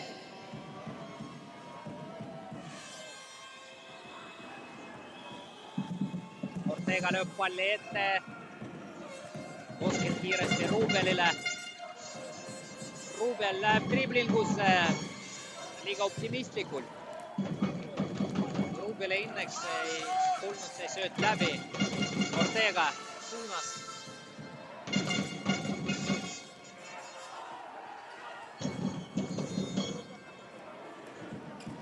Kaar, kaks ja pool minutit mängida. vale sööt Roman Baskovilt. ja võib juhtuda, Baskov lõi kuldse värava täna. Babjak ei suutnud Mustakovit üle mängida üks-ühele olukorras.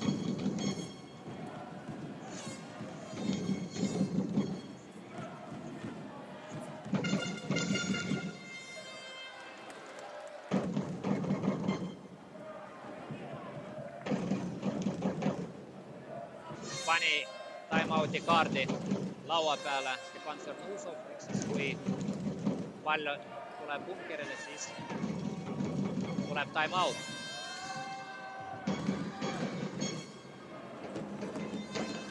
pall jäi mängu, kaks minutit mängida, Kaar. jääb Rubelile. praegu tegelikult on hea moment lendava lendava väravahi väljakule laskmiseks. Aga tulebki out Silmeti väljaku poolel Bunkerile ja time out, vaatame, kes paneb lendava värava järgi. praegu ei näe, kes see mees on. Pavel Ruubel tõenäoliselt või võib-olla Mark Koskin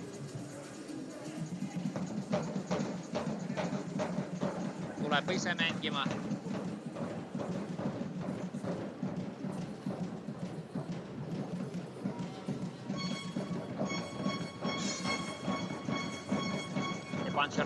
Näitab, mida Bunker hakkab tegema peale time-out'i. Nonsakov ka seletab ja Sillamäe hoiab rohkem kokku kuidagi, tundub. näete, kui tihe ring on seal Sillamäel. ja näete, kuidas bunkeril mängijad seisavad, kuidagi üksteise kaugel ja ei ole nii kokkuhoidvad nagu Silmed.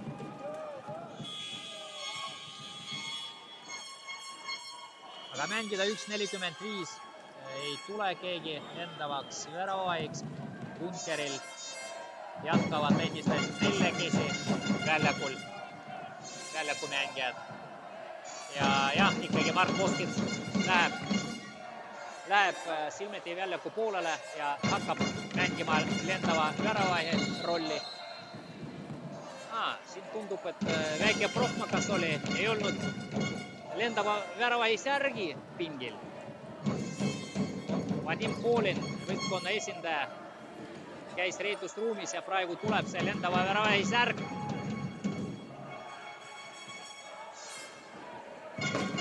Pavel Rubel paneb lendava väravahi särgi poolteist minutit mängida. kas ei ole nii hilja see hetk?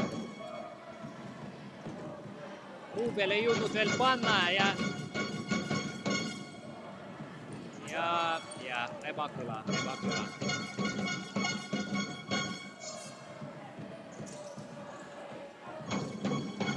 Tšarov lööb palli ette, see on vaba löök, see on vaba löök. see ei ole viga, veanarvisse ei lähe.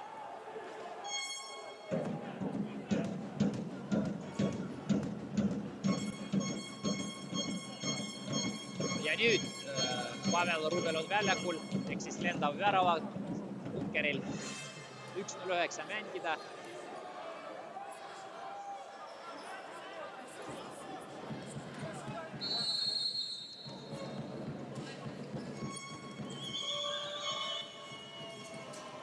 ja Silmetilt väga hea pressing ja näitab Aleksei Titinov, et sööt valele jalale oli Mark Ivanovi poolt.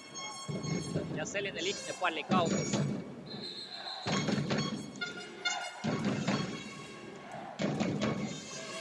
Lotsakov otsib ees Pablo Ortegat, leiab, Ortega võtab palli omaks, söötroll Mändile, sättis endale löö, ennast löögile, aga ei löönud. eksib Mark Ivanov ja Mark Voskin viskab ette Deniss Nukovile, Ivanovile ja Artur Taar külmavereliselt tõrjub praegu löögi, punkeri löögi. ja tuleb tõenäoliselt veel üks värav ja Sillamäe poolt tuleb seitsmes väras, värav, sööt on seitse-viis.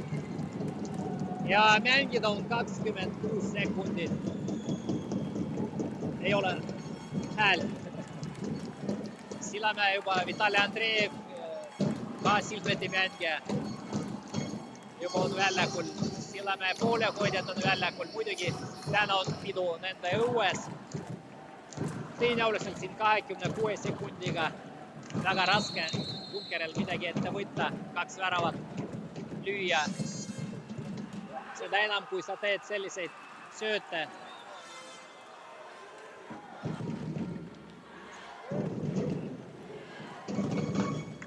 siit ma vaatan, et jalgpalliliidu töötajad juba hakkavad valmistama, valmistama autostamisseremooniat. Artjom Taar oleks võinud ka saada värava enda nimele. aga lõik tühjast väravast mööda. ja Sillamäe Silmed tuleb esimest korda meistrivõistluste ajaloos Eesti meistriks ja palju õnne Sillamäele. Palju õnne Sillamäele selle meistritiitli puhul. Ja loodame, et õnnestub rääkida kellegagi Sillamäe ridadest. loodetavasti tuleb intervjuud andma Artjom Mašinistov, meeskonna eestvedaja. Ja viskavad Pablo Ortegat üles, kindlasti mees on täna mängu kangelane, kolm väravat temalt, Roman Baškovilt ka ja nüüd võib jubeldada, võib tähistada. Ja pidutseda. mina teile kommentaator Dmitri Skipevski lõpetan kommentaatori puldist, aga nagu ma ütlesin, loodan, et õnnestub ikkagi Sillamäega veel kellegagi Sillamäel intervjuud teha ja kuulata nende mõtted siit kommentaatori puldist minu poolt head aega.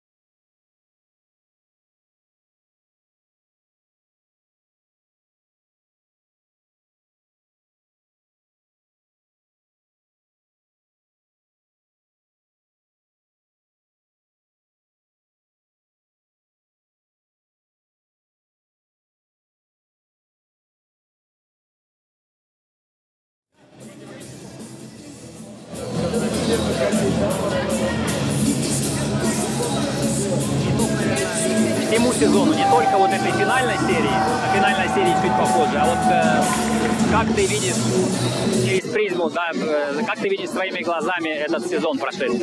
Если вы перекрутите, да, э, на год раньше, то в прошлогоднем финале э, я уже отвечал на этот вопрос. Отвечал э, так, что у нас была цель на три года. Первый, первый год – это воспитание молодежи, которая вот сегодня да, играет, решает, показывает результат. А второй год э, уже навязывать борьбу конкурентам, да, лидерам чемпионата. И этот год, как я и в прошлом году сказал, э, мы уже поставили себе цель бороться за все титулы.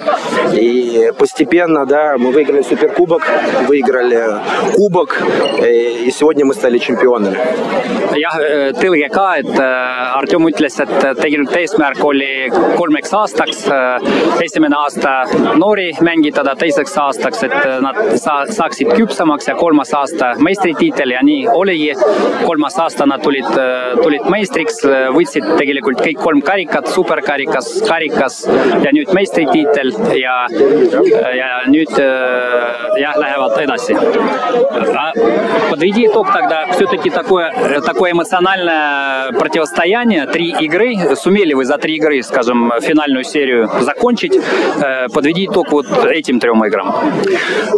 Это был, ну, несмотря да, на то, что мы выиграли финальную серию со счетом 3-0, это было непросто, особенно второй матч. И вот сегодня тоже да, соперник отдал все свои силы, за что мы им тоже благодарны.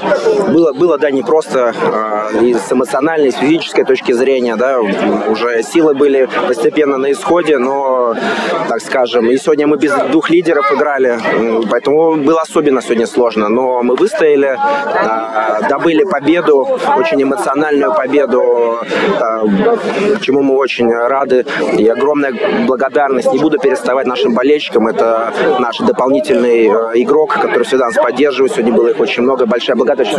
Победа! Прямой эфир. Сейчас прямой эфир.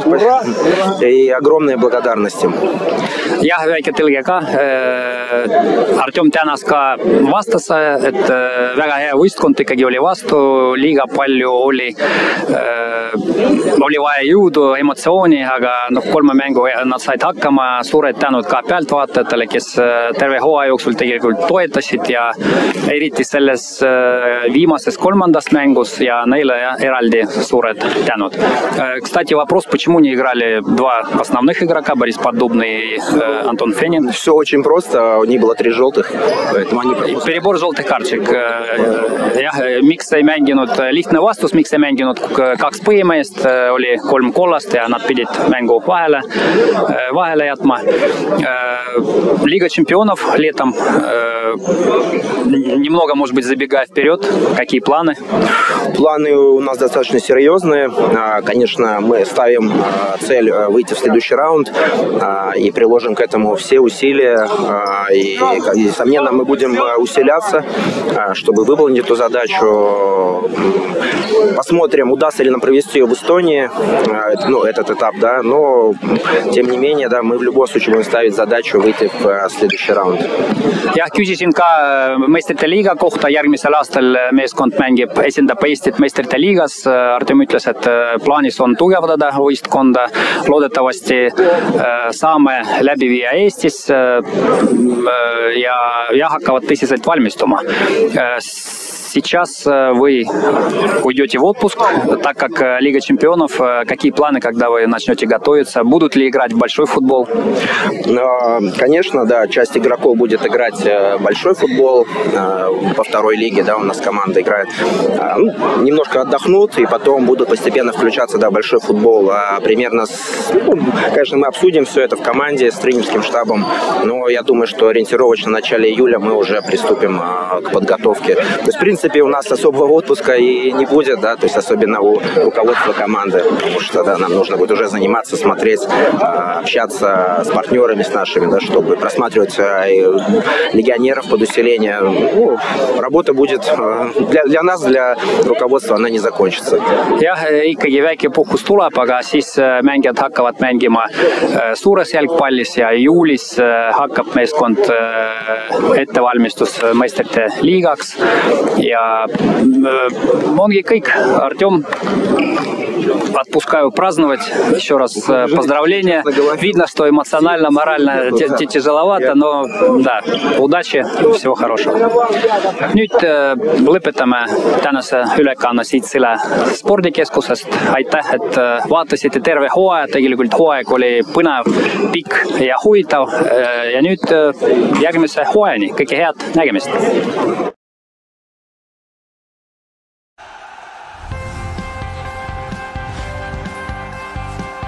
Eesti koondise peatoetaja on LHV Pank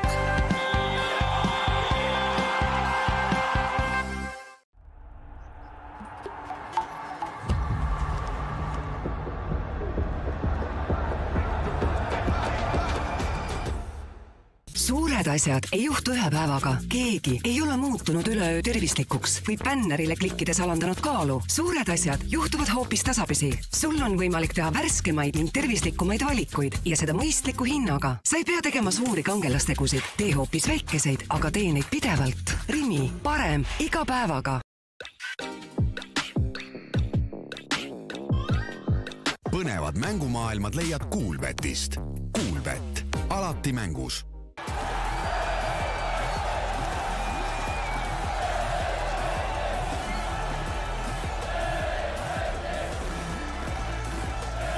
Eesti jalgpall saab toetuda meie õlule. A Le Coq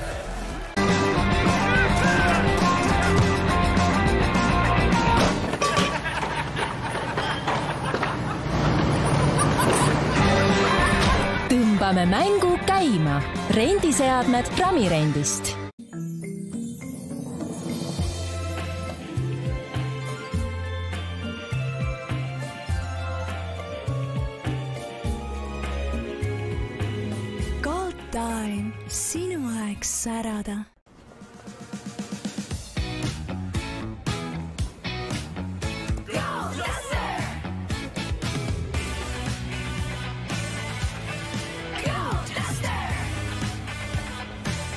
Dacia Duster alates kümne tuhande kolmesaja üheksakümnest eurost. ostes nüüd Dacia, saad talverehvid kingiks kaasa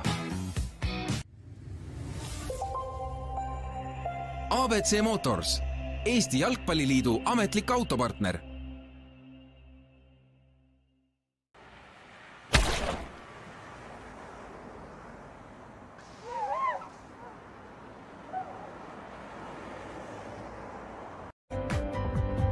meiega koos alati nähtav. vaata lisaks linnaekraanid.ee